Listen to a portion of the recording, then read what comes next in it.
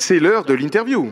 C'est, l'heure de l'interview. L'heure de l'interview. J'adore ce jingle. Ah oui, c'est le jingle qui change à chaque émission. Cédric, avant de te harceler de questions, je voulais juste dire à nos web spectateurs que nous nous connaissons depuis plusieurs années et que nous avons même joué ensemble. Car oui, tu es aussi musicien, un batteur de jazz. Mais c'est la passion pour ta photo qui, euh, qui, qui nous a réunis ce soir. D'ailleurs, une petite photo pour euh, se rappeler de comment tu étais quand on jouait ensemble. Excellent. On ne rigole pas. Hein. du Oui, c'est lui à la batterie et puis euh, différentes photos d'époque. Alors c'est des photos d'époque, donc ça sont en 320 par 240 pixels.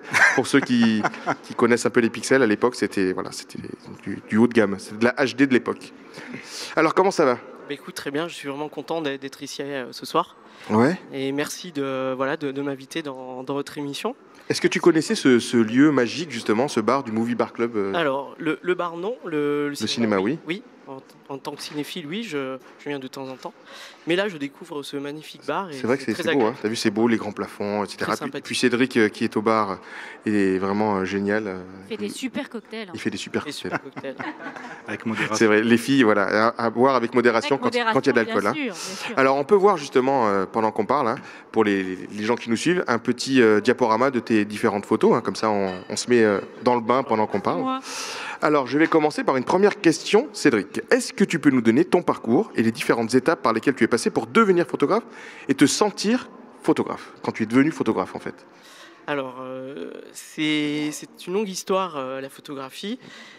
Euh, elle m'accompagne depuis, euh, bah, depuis mon, mon tout jeune âge, par le biais du cinéma. Ah oui. Voilà, c'est la, la passion du cinéma, le, le cadrage, les, les lumières, les éclairages, les directeurs de la photo, en fait. C'est vrai que j'aime beaucoup. Tu avais un œil qui était. Ouais, étais attiré par ça sans fait. savoir en fait que c'était de la photographie, je présume, au départ. Voilà, c'est- intuitif hein, au départ, et ensuite, euh, avec la, la pratique, l'expérience, euh, naturellement, en 2009, j'ai commencé à, à prendre des photos, à essayer, et, et naturellement, c'est devenu en Tu, fait tu as euh, commencé à, voilà, à essayer un- de reproduire, je présume. Parce que... un, un langage finalement, euh, une extension de, de- de mon travail artistique, y compris de musicien, puisque sensibilité de musicien aussi peut. euh, peut Oui, c'est une dans- sensibilité artistique, du coup, euh, elle, elle s'ex- elle s'exporte. prime. Elle s'exprime, elle s'exprime aussi. Bien, bien. Ah, il y a- y a un on a une souffleuse ce soir. Alors maintenant, euh, quel est ton parcours en tant que photographe? Donc ça veut dire euh, tes appareils photo successifs, etc. Alors moi j'ai commencé avec un tout petit Fujifilm, tout petit euh, voilà. Argentique 70 ou Non, non, numérique numérique. Ah ouais, alors, parce Toujours qu'on aborder parle le pour des... numérique. Voilà, c'est vrai. C'est que du numérique. C'est que du numérique euh, et donc l'avantage du petit Fuji c'est de se promener dans la rue et Sans zoom, je présume. sans zoom, Donc c'était genre photo de rue, quoi. photo de rue. oui. Donc c'est toi qui te déplaçais plutôt quand... Exactement. Quand on voit des gens, en fait, des fois, ils sont assis à à 10 mètres et ils font une photo et brrr, tu les vois sur l'écran, en fait, ils zooment. Alors qu'en fait, évidemment, il est beaucoup plus intéressant de se déplacer soi-même et de cadrer, euh, du coup. Tout à fait. Voilà, donc euh, j'aime bien l'improvisation aussi dans la photographie. euh, Et t'es, Et mon- et t'es- t'es plutôt un photographe technicien, ou, un- ou ce que j'appelle technicien, ou plutôt un photographe qui en a rien à foutre de la technologie et qui, lui, est juste est là pour euh, capter... euh, l'émotion? euh, me parlerait plus déjà de, de type de photographe. ah, ah, tu peux être les deux aussi, hein, parce que j'en connais qui sont les deux. Qui aiment bien la technologie et en même temps qui aiment bien euh, Alors je suis plutôt un intuitif. intuitif. Voilà. Donc, ça veut dire- plutôt, euh, plutôt, plutôt artistique que technicien. Euh, je- mais alors c'est toujours compliqué parce qu'il y a la culture derrière. Oui. C'est-à-dire qu'il y a toujours un sens aussi dans, dans l'image. Euh, évidemment, le cadrage, la profondeur de champ. euh, donc il y, a- il y a quand même du, du vocabulaire, il y a du langage. Mais, euh, mais la photo, euh, évidemment, est spontanée. Et voilà, c'est vraiment l'intuition, c'est le regard, c'est l'improvisation. tu disais que tu es passé par le Fuji, ensuite tu as eu quoi? Tu as eu d'autres... Alors j'ai utilisé un Leica, Ouais, petit, numérique, un Pentax réflexe, mais très peu.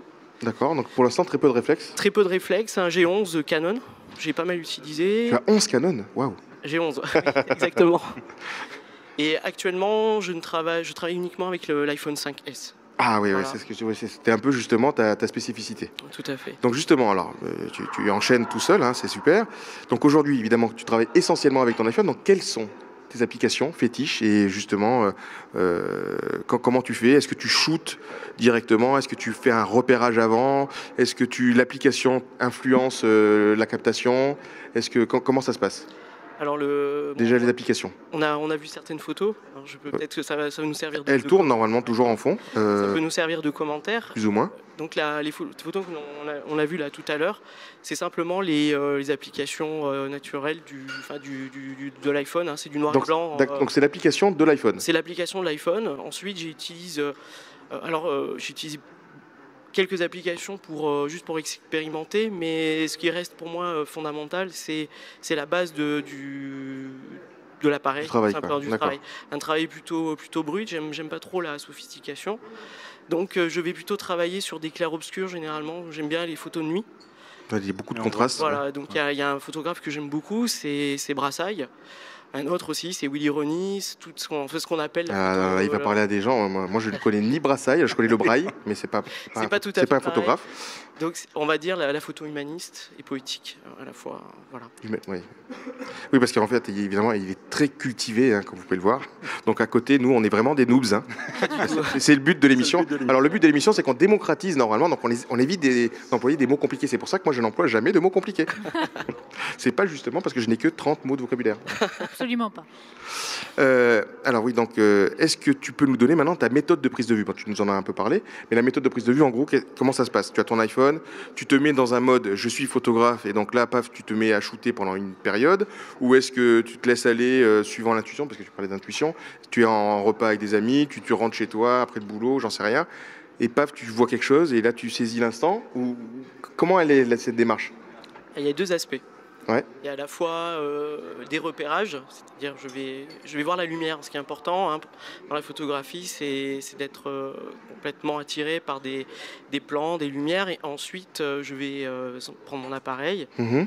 Je peux expérimenter, des fois ça fonctionne, des fois ça fonctionne. Donc tu expérimentes, voilà, et du Voilà, coup, voilà. tu gardes pas forcément, de toute façon c'est normal. hein. Et des fois c'est effectivement. Tu captes, voilà, tu captes justement quand on voit, bah, de toute façon, on a, pour les gens qui nous suivent sur Facebook, vous voyez, hein, c'est vrai qu'il y a des photos qui sont magiques. Justement, voilà, typiquement cette photo-là, c'est quoi t'es à, à travers une vitre? Oui, complètement de ma voiture le matin, Voilà. avant, de pa- avant d'aller travailler. Il y a des, euh, les filtres en fait naturels et j'adore moi les, utiliser la vitre de la voiture. Et en fonction des saisons, on a des textures, des couleurs différentes et donc c'est ça. Oui, parce que les drôle. couleurs en noir et blanc, malgré tout, elles servent. Comme on, dirait que non, mais en fait, quand il y a plus de rouge, bah, c'est plus noir. Et quand il y a moins de rouge, bah, c'est moins noir, complètement. grosso modo. Donc en fait, les couleurs jouent, influencent Absolument. beaucoup. Et, Le noir et blanc. Le noir et blanc. Et donc tu retravailles pas, on est d'accord, tes photos? C'est-à-dire que tu passes pas par d'autres logiciels Non. pour, pour travailler? Non, non, non. C'est c'est vraiment génial. hein. Alors maintenant, on va terminer parce qu'on a d'autres choses à faire évidemment, mais puis tu sauras, tu sauras rebondir évidemment après chaque chronique. Quel serait pour toi le rêve que tu aimerais réaliser en tant que photographe? Une exposition à New York, You- YouTube qui t'appelle pour faire euh, la pochette de leur album, ou devenir, euh, je sais pas moi, un reporter de guerre. bah là, c'est cette saison en plus en ce moment. Euh, J'ai plutôt un penchant euh, pour la musique, donc je vais Ouais. plutôt euh, me diriger vers YouTube, je pense. Non, mais je sais pas ton rêve. Qu'est-ce que Non, non, Plus, sérieusement, j'ai- j'aimerais travailler avec des, des artistes pour justement travailler, mettre en relation la, la photographie avec la musique. Ça, m'intéresserait. Et- donc, et- avec des notamment avec groupes, le jazz. Alors parce que oui. euh, Groupe de jazz, oui. Mais pas forcément. Parce que, je- tiens, en parlant de groupe de jazz, il y, a il y a un lieu particulier que tu, que tu aimes bien, euh, que tu connais. Tu peux peut-être en parler? Oui, il y a le, le SOWAT, qui est un club de jazz qui se trouve à Lagode, hein, une association dynamique depuis 96, l'association SOWAT, qui programme chaque année un festival, festival. De, de jazz. Qui est passé, hein, c'est ça? Tout à fait. Et donc je suis aussi euh, musicien de- du groupe, puisque je suis le, ba- le batteur. euh. Ah, c'est ça l'aspect. Je un peu bourrin, mais c'est ça en fait. L'aspect bourrin, voilà. ça. Je rigole parce qu'évidemment, quand on, l'écoute jouer, on, on se rend pas compte hein, que c'est un batteur. Non, mais c'est vrai, c'est c'est tellement euh, magique quand tu, en termes de son, en termes de finesse. ben, c'est comme dans la photo en fait. C'est exactement la même chose. Eh ben Cédric, merci. hein. Merci. J'espère que ça vous a donné envie de faire de Ah la oui, photo. Bien sûr, Hein bien sûr, bien sûr.